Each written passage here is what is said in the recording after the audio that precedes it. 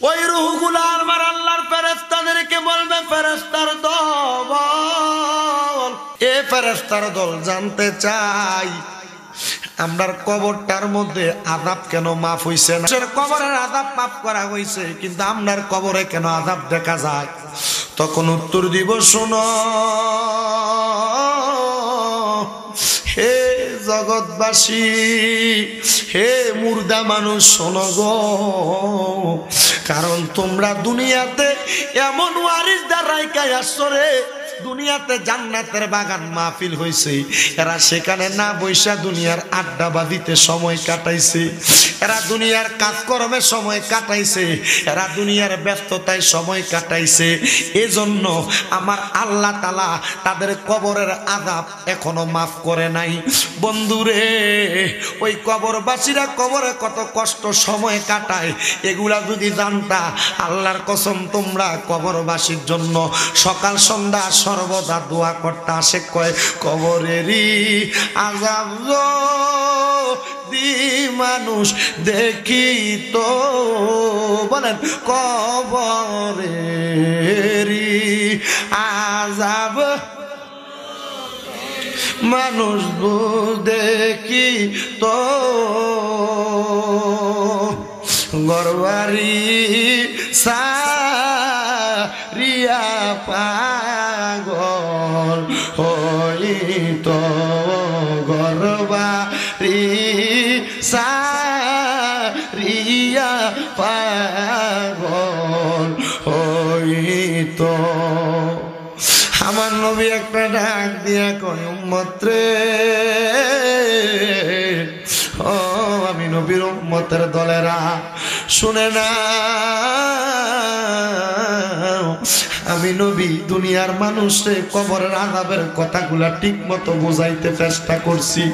দুনিয়ার মানুষ ওই কবরের আজাবের কথা তোমরা স্মরণ কইরো। তাহলে দেখবা দুনিয়া তো শান্তি পাইবা, আখেরাতে শান্তি পাইবা। হজরত উসমান দিন নুরাইন কয়, আমি একবার যায়া দেখলাম আমার নবীকে ওই মক্কা নগরীর গোরস্থানের পাশে দাঁড়ায় দাঁড়ায় কান্দে।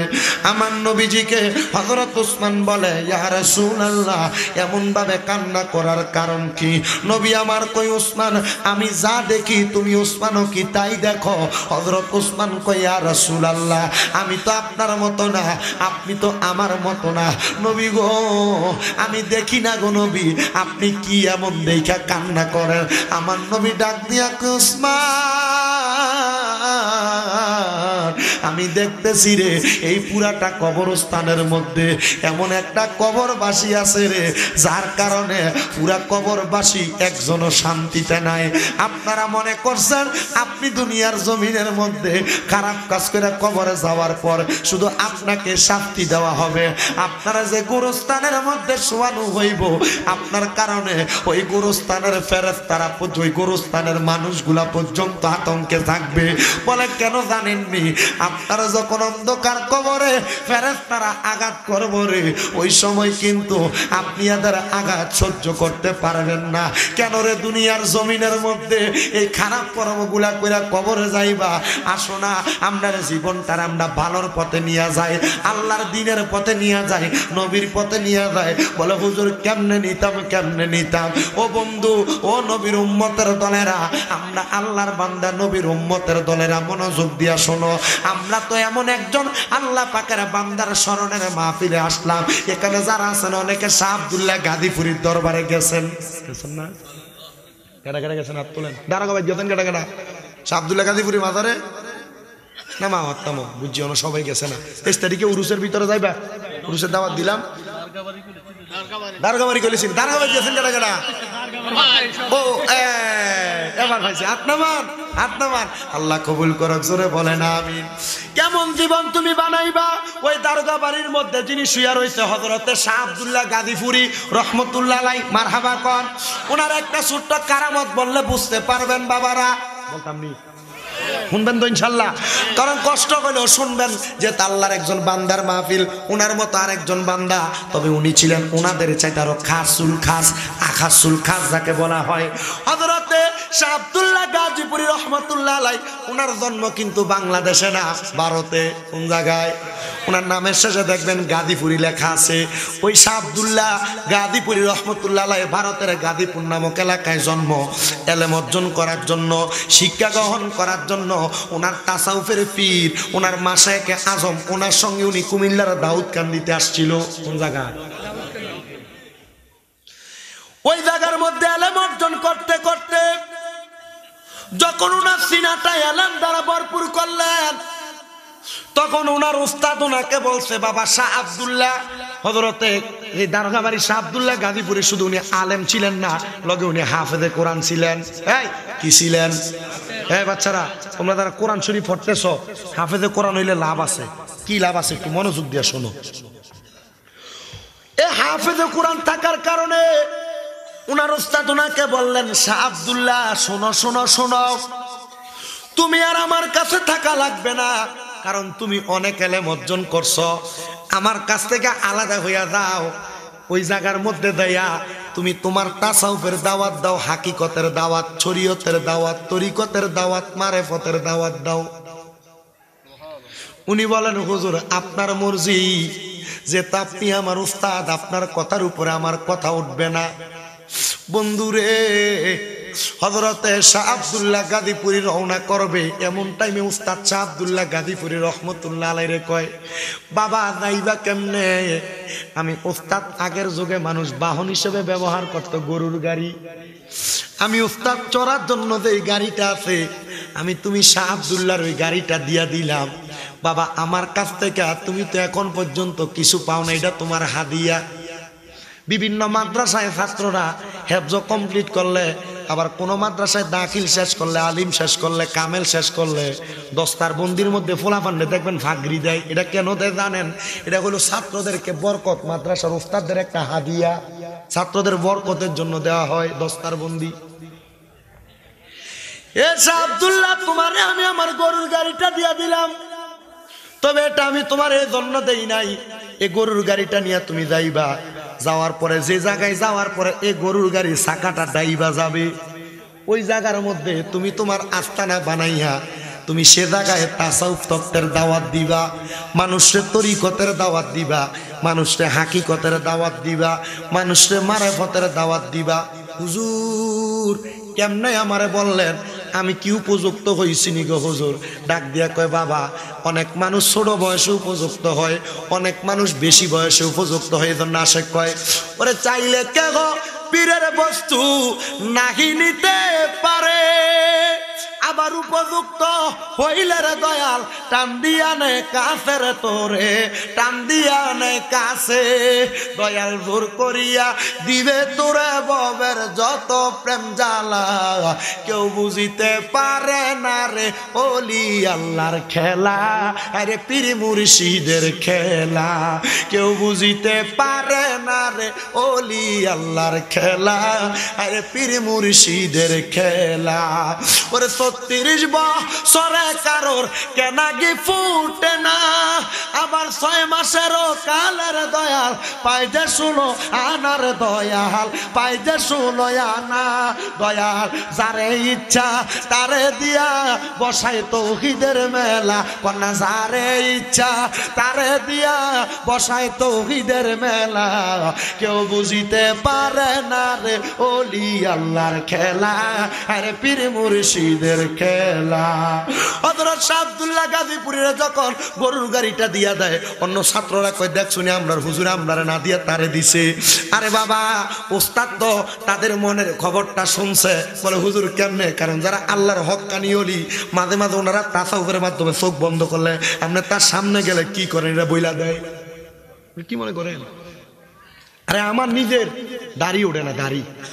আমার কত মানুষ ইউটিউবের ভিতরে গালাগালি করে ফেসবুক কমেন্টসের ভিতরে গালাগালি করে, আমি লম্বা চুল রাখছি, দাড়ি শেভ করে। আচ্ছা আমি আমার জীবনে কোনোদিন খুঁট দিয়ে একটা টানও দিছি না। খুঁট দিয়া কোনোদিন টানও দিছি না। অন, আমি দেখি যেটি গালি দেয়, মাঝে মাঝে আমি কমেন্টসে ঢুকি। ঢুকিয়া দিই এইটা দাঁড়িয়ে শেভ করিয়া ক্লিন শেভ কোবাই সমান করে রাখি আমি আচ্ছা এক গুজারে আরেক গুজা কষ্ট হয়ে খারিতে এমন হলো না বিষয়টা? হ্যাঁ নিজে দাড়ি কাটতে হমান এ, আমার ঠিক হইতাম। আমি চিন্তা করলাম, না। আবার এটি কমেন্টস করে কমেন্টস করার পর ফেসবুকে দেয় দিই এটি আইডির ভিতরে এটি বল হয়ে ছবি ফেসবুকে সারে। নিজে জিল হয়ে ছবি ফেসবুকে সারে। এটি এনে যায়, এনে আছে হেনে যায়, এনে আছে। আচ্ছা কন? এ, করে, আকাম কুকাম এ, আমার যদি নসিহত করার কাম হইল তো আমার দাড়ি ওঠে না। আমি চিন্তা করলাম, কি করা যায়? আমরা যে শাহপুরের বর্তমান হুজুর কেবলা, গোলাম মোহাম্মদ আব্দুল কাদের কাউকে হুজুর, একদিন হুজুরের পাইছি, হুজুর কিন্তু আমার সালাম করতাম করে আমি সালাম করতাম, গেলাম আমার আত্মর দূরালা ভাই, আমরা সালাম করি না, আমার এমনি কইয়ালা তা আমি একদিন হুজুর লোক মুসাফা করিয়া আমি বলছি হুজুর, আমার তো দাড়ি ওঠে না, কি করতাম? হুজুরের ডাইন হাত না আমি আমার এই গালটাতে একটা ডলা দিছি। সান আপনারা আমার এই গালটার ভিতরে দাঁড়িয়ে আছে, এই গালটাত নাই। আমি এমন সুযোগ পাই আরেকবার যদি সুযোগটা হয়ে লাই আরেকটা ডলা দিয়ালাম দেওয়ার মালিক কে? কতক্ষণ? দেওয়ার মালিক কে? হুজুর তাহলে ওনার হাতে ডলা দিবেন কেন? আর আল্লাহর নেক বান্দা যারা উনি তো মাসে চব্বিশটা রোজা রাখে। রাখেনি? আল্লাহ নেক বান্দা যারা ওনার হাতটা ডলাটা লাগে দেখি না আল্লাহ ওনার হাতের বরকত হয়তো আমারে দিব। এই শাহপুর হুজুরে কোনোদিন হানিত ফু দিয়ে দিতে দেখছেন দেয় না হুজুরে এমনি শুইয়া দেয় শুধু। দেয় না শুইয়া দেয় না শুধু? এটা কি এটা? এ শোয়ার ভিতরেও কিছু আছে, কথা কয় না। তো শাহ আবদুল্লাহ গাজীপুরে যখন গাড়ি দিয়া দেয়, অন্যরা চিন্তা করে, মনে মনে চিন্তা করতেছে, দেখছ? হুজুর, আমরারে না দিয়া হুজুর ওনারে দিয়ে দিছি। উনি যাওয়ার পরে ওনারই ওস্তাদ ডাক দিয়া কয়, বাবা, শাহ মুরাদ রহমতুল্লাহ এ বাবা, তোমরা কি চিন্তা করছ? যে যেটার উপযুক্ত আমি তার এইটাই দিছি। সে আমার গাড়িটা পাওয়ার উপযুক্ত বলে হুজুর কেন? বলে, আমার শাহ আবদুল্লারে দিয়া এ তাসা উপরে বড় একটা খেদমত হইব। খেদমত এখন নজরে পড়ে কত হাজার হাজার মানুষ। দেখুন ওই শাহ আবদুল্লাহ গাজীপুরে উনার জীবনটারে কেমনে সাজাইছে দারোগা বাড়ির হুজুর? কুমিল্লা, রাজগঞ্জের দক্ষিণে এই জায়গাটা। ওই দারোগাবাড়ি নামক জায়গাটা শাহ আবদুল্লাহ গাজীপুরের মাজার। উনি যখন ওই জায়গায় আসলেন ওনার একটা পছন্দের খানা ছিল উনি আমার নবীরে পছন্দ করতেন বিদায়। আমার নবীর পছন্দের খানা লাউরে উনি বড় ভালোবাসতেন। উনি লাউকে বড় বেশি মোহাব্বত করতেন কারণ আমার নবী এই খাবারটা বড় পছন্দ করতেন। সুবহানাল্লাহ। শাহ আবদুল্লাহ গাজীপুর রহমতুল্লাহ আলাই উনি ওনার আসনের মধ্যে বসা ওনার আসনের মধ্যে বসা অবস্থায় হজরত শাহ আবদুল্লাহ গাজীপুরের রহমতুল্লাহ আলাই লক্ষ্য করে দেখলেন দরবারের মধ্যে দারোগা বাড়ির মধ্যে যে পুকুরটা আছে, পুকুরের ওই পারে দিয়া ওনার একটা বক্ত হাতের মধ্যে লাউডার এমনি ধইরা ঝুলে ঝুলে আনতাছে। হজরত শাহ আবদুল্লাহ গাজীপুরি একটা লাভ দিয়া ওনার আসনটা থেকে নাইমা গেছে। আসনটা থেকে নাইমা ওনার বক্ত বক্তটারে ডাক দিয়া কয় বক্ত রে, ও বক্ত লাউডারে আর একটা বারো এমনি ঝুলাইও না, বুকের মধ্যে লও, বুকের মধ্যে লও, কারণ এই লাউরে আমার নবী বড় ভালোবাসত। আরে চিনলি না রে বেহিমানেরা নবী কেমন দর? কন্যা চিনলি না রে আরে বাতেল ফেরকা সাইরা দিয়া, নবীর দামান দর। কন্যা বাতেল ফেরকা সাইরা দিয়া, নবীর দামান দর। চিনলি না রে বেহিমানেরা নবী কেমন দর? ওরে নবী যদি নাই আসিত আরে কিছু পয়দা না হইত। আরে নবী যদি নাই আসিত আরে কিছু পয়দা না হইত। আরে মানুষ বানাইল আল্লাহ নবীর প্রেমেতে। বলেন মানুষ বানাইল আল্লাহ নবীর প্রেমেতে। আরে চিনলি না রে বেহিমানেরা নবী কেমন দর। আইরে বাতলে ফেরকা সাইরা দিয়া নবীর দামান দর। কন্যা বাতলে ফেরকা নবীর দামান দর চিনলি না রে বেইমানেরা, নবী কেমন দন, কন্যা চিনলি না রে আরে নূর নবীজি, আল্লাহর বন্ধু। আমরারে পার কইরা দিবেন বব সিন্ধু গো। আরে আমরারে নবী আল্লাহর বন্ধু। আমরারে পার করিবেন বব সিন্ধু। তাই তো সকলে কিছু বইলা দিয়া, সকলে কিছু বইলা গিয়া নবীর পথে চল, সকলে কিছু। নবীর পথে চল। চিনিলি না রে বেইমানেরা নবী কেমন দন কন্যা? চিনিলি না রে বানানো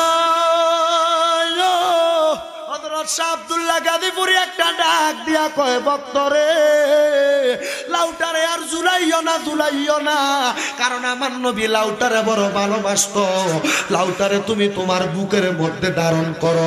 ভক্ত কয়, আল্লাহর কসম এরপর থেকে আমার হুজুর যে লাউ খাইতে পছন্দ করতেন, যখনই ওনার কাছে আমি লাউ নিয়ে আসতাম জুলাইয়া জুলাইয়া আনতাম না।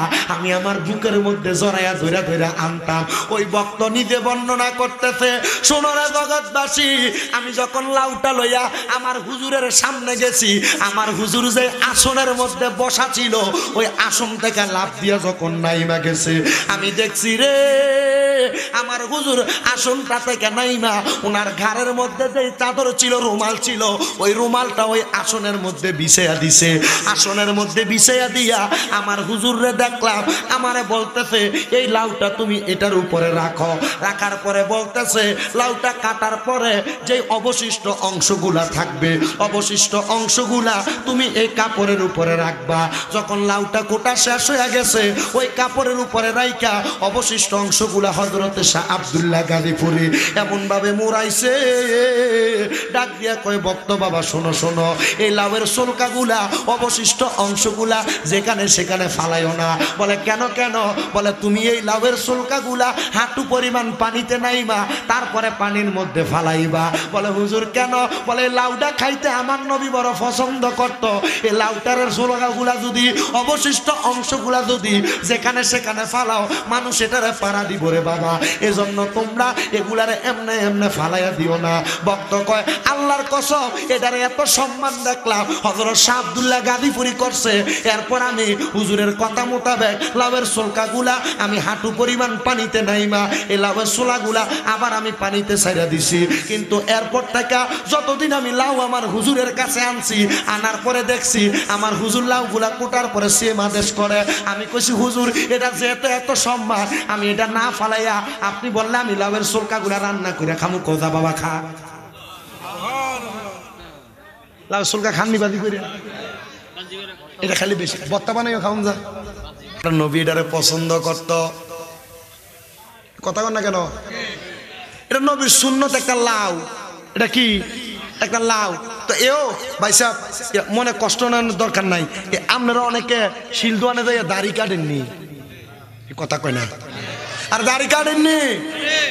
আচ্ছা ভাই সাহেব এই শিলবেটা যে আপনার দাড়িটিরে ফোম শেপ করে দাড়িটিরে কাটতে কাটতে কাটতে কাটতে নিচে ফালা এই দাড়িটিরে ভাড়া। হ্যাঁ? এ দাড়িটিরে ভাড়া। নবীর শূন্যতে সম্মান হয়েছিনি কেমনে কেমনে কেমনে? নবীরে মুখটা দেখাইবেন কেমনে আপনি? কেমনে দেখাইবেন নবীরে মুখটা আপনি? বাথরুমে দেয় দাড়ি শেভ করেন, এই নবীর শূন্যতে দাড়িটাতে বাথরুমে টাঙ্কিতে যা কেমনে নবীরে মুখ দেখাইবেন? কেমনে দেখাইবা তোমরা যারা দাড়ি কাটো ভাই সব? আমার বড় কষ্ট লাগে। বড় আঘাত লাগে কলি যায় যে নবীর উম্মত কি জবাব দিব? আমার কত মানুষ কইছে, তোমাদের তো দাড়ি ওঠে না, একবার শেভ করে দেখো। দেখবা হের হেরানি দিয়ে উঠবো। আমি কিছু দরকার নেই। আমার জায়গা হবে মোরা লাশের লাইগা মসজিদের পাশে আমার কবর দিও। কইরা আমার জায়গা হবে নি। মাশাল্লাহ।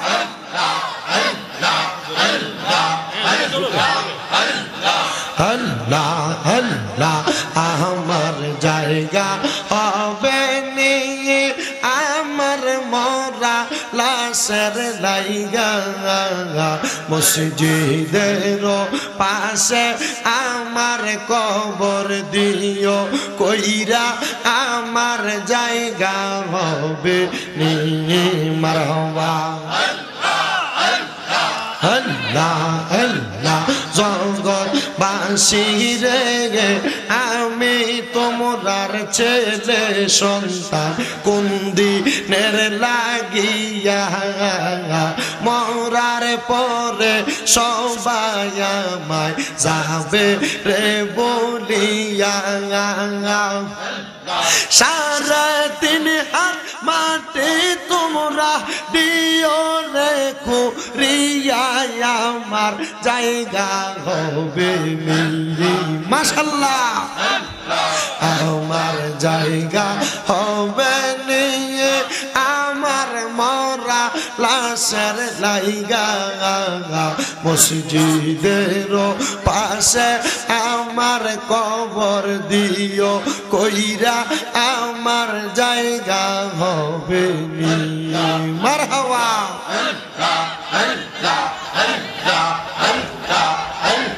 আল্লাহ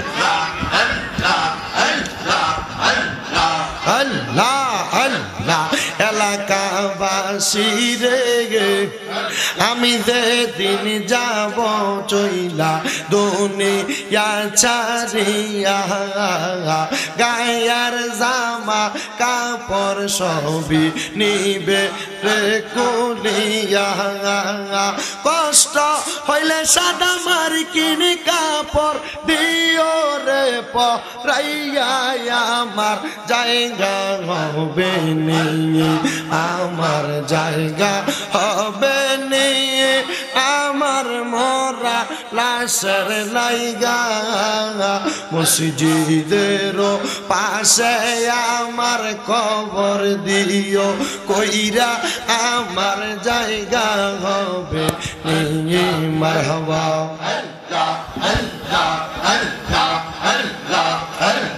হাবিব দেখো, হাবিব আল্লাহ আল্লাহ জগৎবাসী রে আমি যে দিন যাব চইলা দুনিয়া চারিয়া ভাই বন্ধু আত্মীয় স্বজন যাবে রে বলিয়া।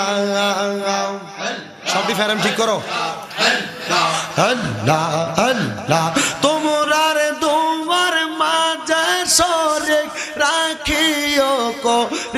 করিয়া আমার জায়গা হবে নিয়ে আমার জায়গা হবে নিয়ে আমার মরা লাশের লাইগা। মসজিদের পাশে আমার কবর দিও, কইরা আমার জায়গা হবে নিয়ে। মাসাল্লাহ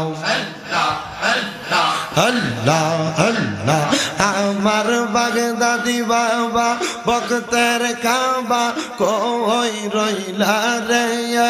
আমার বাগদাদি বাবা বক্তের কাবা কই রইলা রে? বক্তের পা গলবা নাইয়া কই রইলা রে? মারহবা। আল্লাহ বক্তের পা গলবা নাইয়া কই রইলা রে? মারহবা। একদম ধরে। কানটা বলাই দেবো। দাগ বাগদাদি বাগদাদি বলে বুকবা সাই নয়নের জলে কাউকাপ কাউকাপ বলে বলে বুকবা সাই নয়নের জলে, একবার দেখা দাও গো বাদান, একবার দেখা দাও গো বাদান, এই এই ভক্ত রে ভক্ত রে পা বলবা নাইয়া কই রইলা রে মাশাল্লাহ। আল্লাহ আল্লাহ। আমার বাগে দাদি বাবা ভক্তের কাবা কই রইলা রে। আমার মুর্শিদ বাবা ভক্তের কাবা কই রইলা রে। ভক্তের পা বলবা নাইয়া কই রইলা রে। মারহাবা। আল্লাহ। আল্লাহ আল্লাহ জিকির করে তনের প্রচার করে, আল্লাহ আল্লাহ জিকির করে। পাঞ্জা তনের প্রচার করে, কুমিল্লার সাহাপুরে কুমিল্লার সাহাপুরে লুকাই রইলা রে। বক্তের পাগল বানাইয়া কই রইলা রে। আমার মুর্শিদ বাবা বক্তের কাবা কই রইলা রে আমার বাগদাদি বাবা বক্তের কাবা কই রইলা রে বক্তের পাগল বানাইয়া কই রইলা রে আল্লাহ আল্লাহ আনোয়ার বাবা হ্যাঁ আনোয়ার বাবা ওই যে তোমার প্রেমিক আনোয়ার হোসেন ঘুমা ইয়াসে তার ভিতরে। তোমার আসে কানোয়ার হোসেন ঘুমায় আসে তার কবরে। দেখো দেখো, একবার দেখো দেখো দেখো, একবার দেখো তোমার বক্ত রে বক্তরে বক্তরে পাগল বানাইয়া কই রইলা? রে মারহাবা। আমার আনোয়ার বাজার বক্তার কাবা কই রইলা রে বক্তার পাগল বানাইয়া কই রইলা রে মারহাবা। আমি কান্দি বনে বনে, আমি কান্দি বনে বনে। পান কইলা কইলাম না কথা, আমার আনোয়ার সাহার সঙ্গ অনেক হাই গো দুঃখ রইল মনে মনে মাসাল্লাহ জবানটা খুইলা। আল্লাহ রে একটা স্মরণ নাই? আল্লাহ আল্লাহ আল্লাহ।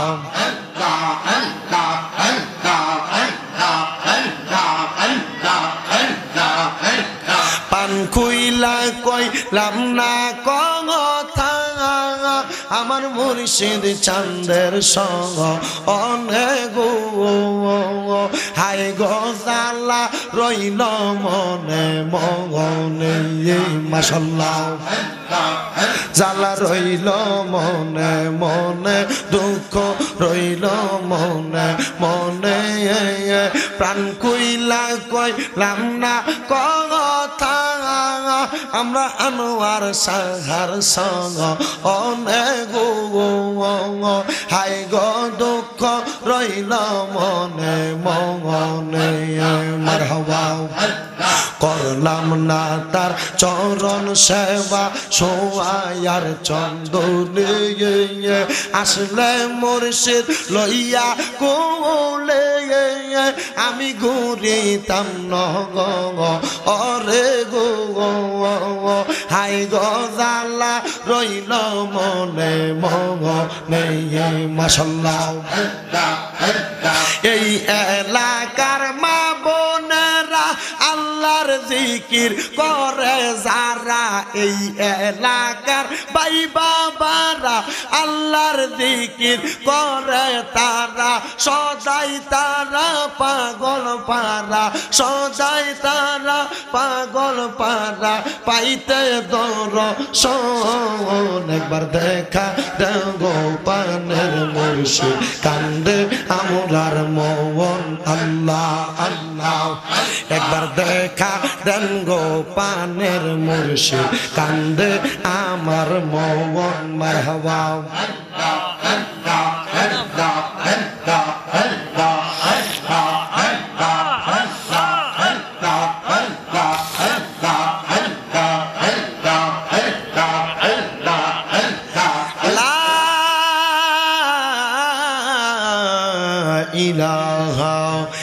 ইল্লাল্লাহ মুহাম্মাদুর রাসূলুল্লাহ সাল্লাল্লাহু আলাইহি ওয়াসাল্লাম।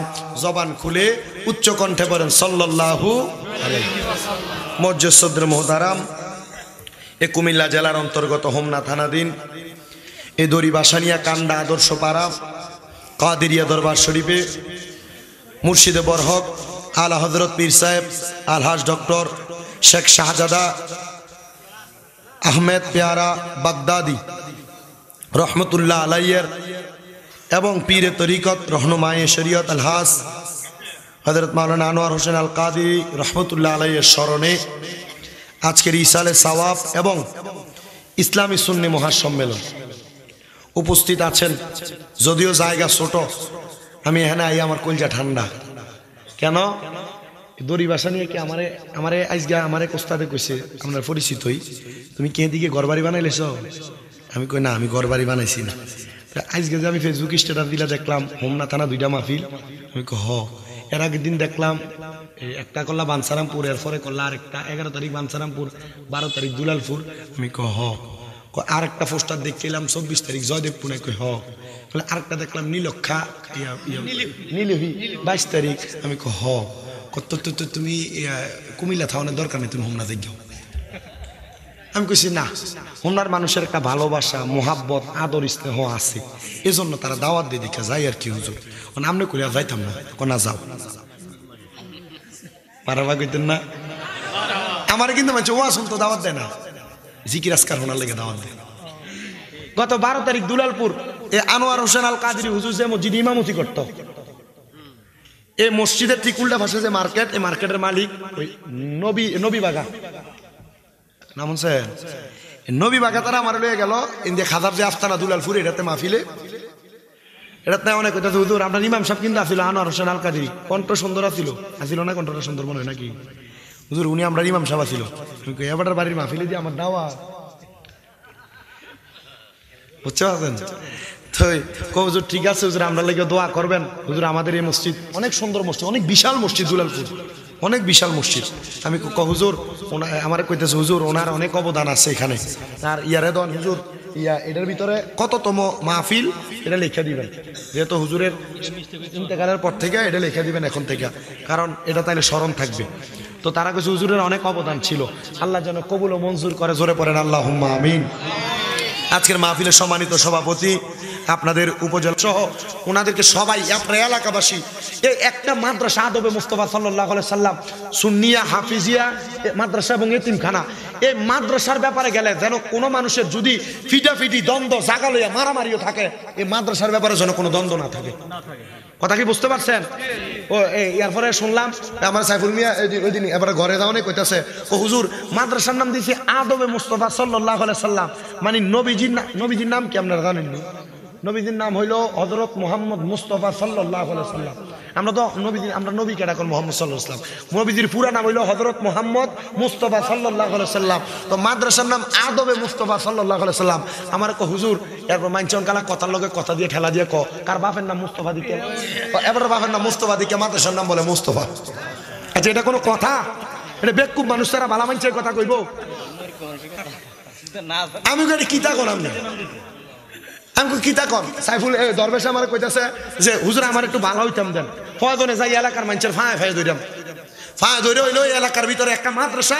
আমরা করে দিয়ে যাব যে, মাদ্রাসা এই এলাকা না শুধু সারা বাংলাদেশের মানুষ এই মাদ্রাসা দেখানোর লেগে আইব।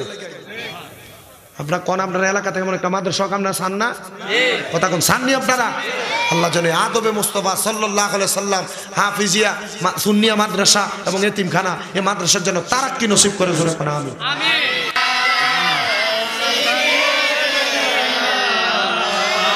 সর্বত হয়ে গেছে। ও আলা আলে সৈয়দনা ভিতরে জায়গা আছে বসা। আমার জ্ঞানী গুণী ভাই বাবারা কবির মনোযোগ অন্তরের কান লাগে শুনবেন যে তো আল্লাহর একজন প্রিয় বান্দার স্মরণে মাহফিল করা হচ্ছে। উনি আল্লাহর এক সাইডের প্রিয় বান্দা না উনি আল্লাহর কাছে প্রিয় হয়েছেন দুই ভাবে কয় ভাবে হুজুর কেমনে? উনান আল্লাহর কাছে প্রিয় হয়েছে তিন ভাবে বলে হুজুর কেমনে? এক নাম্বার ওনার নামের লগে আলহাজ আছে, তার মানে একবার না কয়েকবার হজ করছি। যে ব্যক্তি আমার আল্লাহর কাবাগরের কাছে যাইয়া আল্লাহর কাবাগরের গিলাপটার মধ্যে দইরা আমার আল্লাহর কাছে চোখের পানি ফালাইয়া ফালাইয়া কান্দি। আমার নবী ডাক দিয়া কই উম্মত রে, তার চাইতে প্রিয় আমার কাছে আর কেউ হইতে পারে না। তবে শর্ত হইল ওই ব্যক্তি মানুষের হক মাইরা না অন যাইতো না।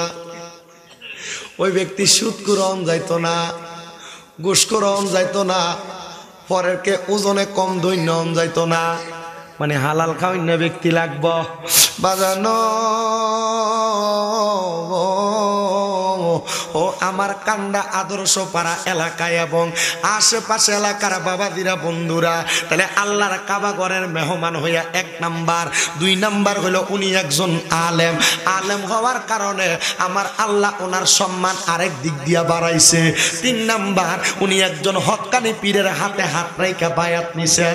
এজন্য আমার আল্লাহ তালা ওনার সম্মান হকানি পীরের হাত ধরার কারণে আগের হায়াতের চাইতে বায়াত গ্রহণ করার পর হায়াত আরও দামি হইয়া যায়। আমার আল্লাহ এমন দামি একজন আল্লাহর বান্দার স্মরণের মাহফিলের মধ্যে বসাইছেন। এবার আমার আল্লাহ তাআলা কোরআনুল করিমের মধ্যে ওয়াজ শোনা দেয়, ওয়াল্লাযীনা ইউযুনাল মুমিনিনা ওয়াল মুমিনাতি বিগাইরি মাকতাসাবু ফাকাদ ইহতামালু বুহতানা ওয়া ইসমাম মুবিনা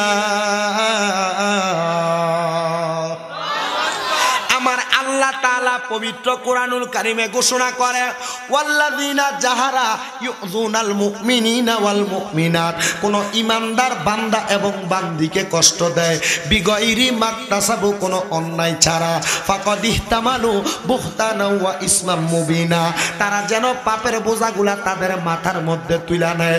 আজকে আনোয়ার মাওলানা হুজুরের স্মরণে এত সুন্দর জান্নাতের বাগান মাহফিল করা হয়েছে। অনেকে কইব, আনোয়ার তামদার এলাকার সন্তান ছিল। ওনার স্মরণে আবার কেন মাহফিল হইব? আল্লাহর নবী ডাক দিয়া কই উম্মত রে, দুনিয়াতে কোন আল্লাহর খাস বান্দার স্মরণে যদি ইসালে সওয়াব করা হয়, তার স্মরণে যখন দোয়ার ইন্তজাম করা হয়, আমার আল্লাহ তালা ওই দুয়ার বরকতে ওই সম্পূর্ণ এলাকার কবরবাসীর কবরের আঘাত মাফ কইরা দেয়। আরও জবান খুলা বলবেন না সোবাহান আল্লাহ ও বন্ধুরে গভীর মনোযোগ দিয়া শুনবেন। ইয়া রাসূলুল্লাহ, ইয়া হাবিবাল্লাহ নবী গো, তাহলে যেহেতু মাফ করে দেয় আমরা তো আমরা জীবনের গুণাগুলা মাফ করাইতে চাই। বলে, তোমরা যদি এমন কাজ করতে পারো, তোমরা করো। যদি না করতে পারো, এমন কাজ যারা করে, তাদের সঙ্গে তোমরা সহযোগিতা করো। যদি সহযোগিতা না করতে পারো, তাদের সঙ্গে তোমরা একাগ্রতা পোষণ করো। সম্মতি পোষণ করো বলে হ্যাঁ তোমরা করতেছ, আমরা তোমাদের সাথে আছি। এই জান্নাতের বাগানে বৈশা, আমরা যখন আমার আল্লাহরে স্মরণ করি, আমরা যখন আমার নবীরে স্মরণ করি, আমরা যখন আউলিয়াকার আমরা স্মরণ করি, আমার মদিনার কামলিওয়ালা দয়াল নবী, রহমাতুল্লিল আলামিন নবী উম্মত, এই স্মরণের মাধ্যমে তোমাদের সিনা পরিষ্কার হয়, কলব পরিষ্কার হয়। এ কলব দ্বারা পরিষ্কার করে কবরে আসতে পারে, আমার আল্লাহ তালা তাদের জীবনের গুণা মাফ করে দেয়। আজকের জান্নাতের বাগান মাহফিল শুধু আনোয়ার হুজুরের স্মরণের মাহফিল না, আজকের মাহফিলের আয়োজন যখন করা হয়েছে, আমার আল্লাহ তালা আপনাদের এলাকার যত কবরবাসী কবরে আছে, কবরবাসী রুহগুলো উন্মুক্ত করে দিছে। এরে আমার দড়ি ভাষা নিয়া কান্দায় আদর্শ পাড়া, আশেপাশে এলাকার বাবাদিরা বন্ধুরা, তোমরা যাদের মা নাই, মা হারাইয়া মাহফিলের মধ্যে বস তোমরা যাদের বাবা নাই, বাবা হারাইয়া মাহফিলের মধ্যে বস অনেক যুবকেরা, দাদা দাদি, নানা নানিরে হারাইয়া মাহফিলে বস পর্দার অন্তরালের মা বোনেরা গো তোমরা যারা মা হারাইয়া, বাবা হারাইয়া মাহফিলের মধ্যে বস আজকের মাহফিলের উসিলায় আমার আল্লাহ তালা তোমাদের বংশের মানুষ যারা কবরে, তাদের রুহুডারে কবর থেকে সাইরা দিছে, বন্দি থেকে সাইরা দিছে। হুজুর, কেন কেন কেন? কারণ ওই রুহুগুলা কবর থেকে সার পাওয়ার পরে আপনার আমার ডাইনে বামে ঘোরাফেরা করে। ভিক্ষুক যেমনে ভিক্ষা চায়। ওই রুহুগুলা আপনার কাছে ভিক্ষা চাইতাছে। ডাক দিয়া কয় পুত্রে পুত ও আমার সন্তান, আমি মা, কবরে বড় কষ্টে আছি। আমি আব্বাজান কবরে বড় কষ্টে আছি। আমরা লেগে দোয়া করো না। আমার নবী জানায় দেয়, সন্তান দোয়া করতে দেরি। ওই সন্তানের দোয়ার কারণে আমার আল্লাহ তার মা বাবার জীবনের গুণা মাফ করে দেয়। কোন সুবাহান আল্লাহ আল্লাহ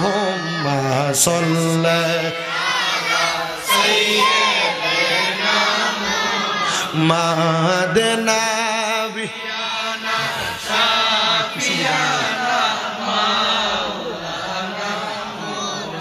মাদাল্লা হুম্মা সাল্লাল্লাহু মাদনাবি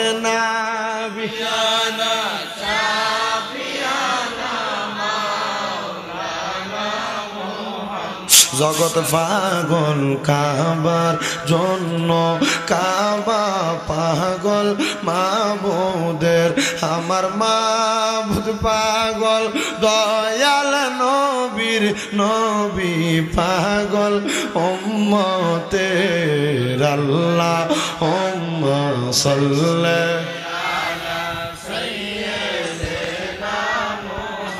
মদনাবি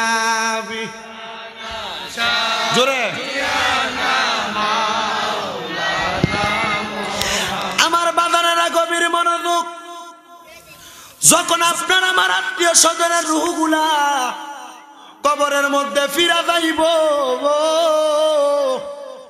ওই রুহগুলা কবরে ফিরা যাওয়ার পরে দেখব, তাদের কবরের মধ্যে আমার আল্লাহ তালা জান্নাতের গালিচা বিছিয়ে দিছে। এরা জিজ্ঞাসা করব, আল্লাহ, আমরার কবরে তো জান্নাতের গালিজা হওয়ার কথা না। আল্লাহ কেমনে জান্নাতের গালিসা হইল? ওই সময় ফেরেস্তারা উত্তর দিব, বান্দা, গলা টানে, গলা এবার টানে। বালা কথা দিয়ে খারাপ করছ। ওই সময় ফেরেস্তারা বলবে, বান্দা, এ বান্দা তুমি তো দুনিয়াতে এমন একটা সন্তান রাইখায় আসছো, এমন কয়েকটা ওয়ারিসদার রাইখাইছ যে ওয়ারিসদার দুনিয়াতে কোরআন হাদিসের বাগানে বইয়া তোমার জন্য দোয়া করে। এই দোয়ার কারণে আমি আল্লাহ তালা তোমরা কবর রাজা মাফ করে দিছি। আপনারা বলেন, এই দড়ি বাসা নিয়ে কান্দা এলাকায় যে আপনারা ফ্যান্ডেল ফুরা মানুষ বইয়া রয়েছেন সব মানুষ যদি হয়তো এমন দুইটা জায়গার দরকার আছিল। ঠিক আছে না? এরা যে আইসে না, এরার অবস্থাটা কি হইবে একটু মনোযোগ দিয়া শোনেন। এদের আওলা যারা অন্ধকার কবরে আছে, যখন তাদের রুহুটা ফিরা তাদের কবরে যাইব, তখন যাইয়া দেখব তাদের কবরে আদাব যেটা ছিল, এটা এখনও পর্যন্ত আছে।